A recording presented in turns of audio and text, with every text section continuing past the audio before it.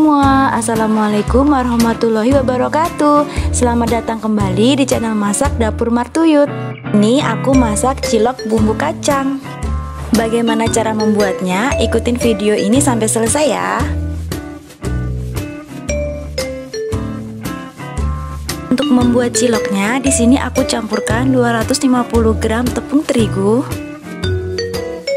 dengan 250 gram tepung tapioka Masukkan daun bawang. Masukkan daun seledri. Di sini aku ambil daunnya aja Lalu aku cincang halus. Lalu aduk hingga merata. Kemudian sisihkan. Tambahkan air. Tambahkan 2 siung bawang putih yang sudah dihaluskan 1 sendok teh garam. 1 sendok teh kaldu ayam. Setelah mendidih lalu bisa dimasukkan ke dalam adonan. Kita masukkan ke dalam adonan. Kita aduk hingga merata. Masukkan air lagi sedikit demi sedikit Kemudian kita diamkan hingga suhu pada adonan turun. Setelah itu kita ratakan dengan tangan. Kita uleni adonan ini sampai bisa dibentuk ya. Kemudian kita bentuk seperti ini ya. Oleskan sedikit minyak pada wadah agar tidak lengket ya.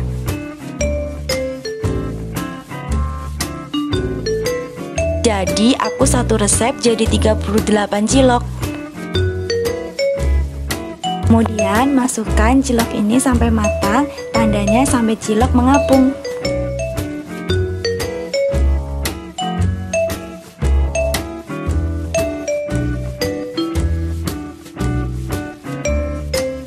Sesekali cilok diaduk agar tidak lengket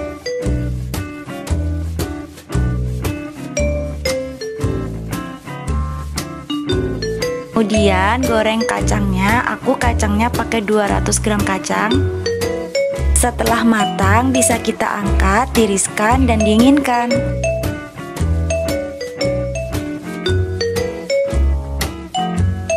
Untuk bumbu halusnya ada cabai merah, cabai rawit, 2 siung bawang putih, dan 3 butir kemiri.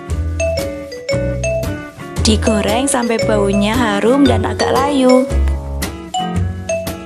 Haluskan bumbu halusnya dan tambahkan sedikit air. Kemudian haluskan kacangnya untuk bumbu kacang. Yang pertama, masukkan bumbu halusnya ke dalam wajan. Campurkan bumbu kacangnya yang sudah dihaluskan. Tambahkan air. Kemudian aduk hingga merata. Kemudian masukkan 70 gram gula merah. Dan aduk hingga merata. Kita tunggu sampai mendidih. Dan diaduk sampai benar-benar merata ya Masukkan satu setengah sendok teh garam Lalu masukkan ciloknya ke dalam bumbu.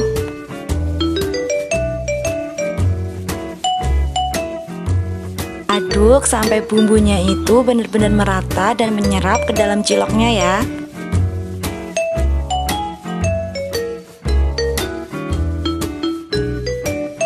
Ini sudah matang, bisa dipindahkan ke wadah ya dan akan segera dihidangkan.